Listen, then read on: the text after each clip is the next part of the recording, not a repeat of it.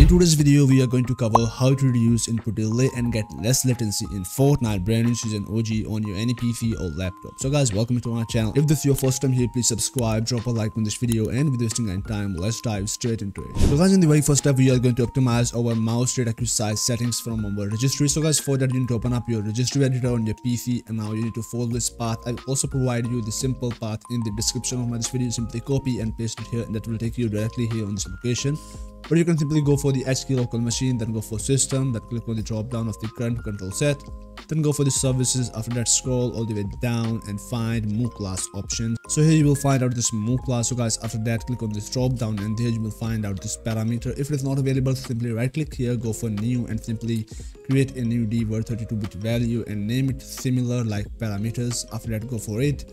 Now again right click go for new and name it uh, onto the dword 32-bit and use the same uh, letters like mouse data queue size. After that, right click, go to the modify and change this value data onto the 30 and this will give you less latency out of your mouse. After that, set the space onto the hexadecimal, then hit OK and close out your registry editor. Now guys, in the next step, you need to download time resolution and filter key on your PC. Link available down in the description. Simply open up my website and download these files on your PC. So on the very first step, here we got our timer resolution. You need to open up this RAR file and drag this application here on your desktop. After that, go for this next filter key option.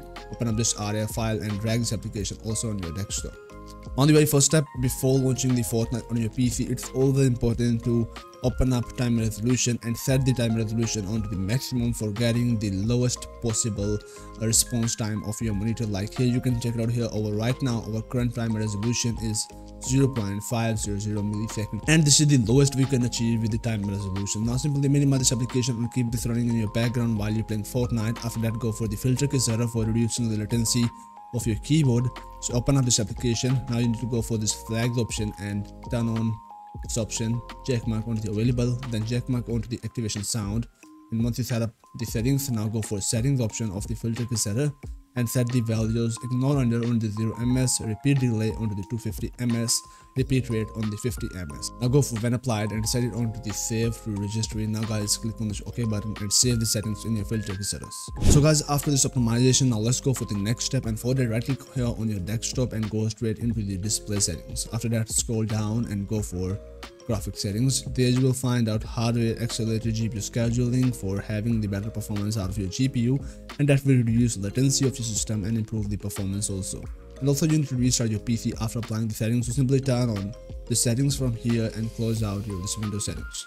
So guys now the next we are going to use visibility and appearance setting of Windows. So guys for that right click here on your Windows start icon and go straight into the system settings of your Windows. After that here you will find out advanced system settings. Go for it now you need to open up the performance settings and set the settings onto the adjust for best performance. After applying these settings, now hit apply and click OK. Now you need to go for the device manager settings and now scroll all the way down, go for system devices and there you will find out high precision event timer. This is also one of the settings for reducing the latency of your system. So right click here and disable this device from here. I have already disabled so therefore it is showing me enable device but you need to disable this device from here after that close out with these settings. Now in the next step we are going to optimize our windows settings for our keyboard and our gaming settings so guys simply go for the settings of your windows.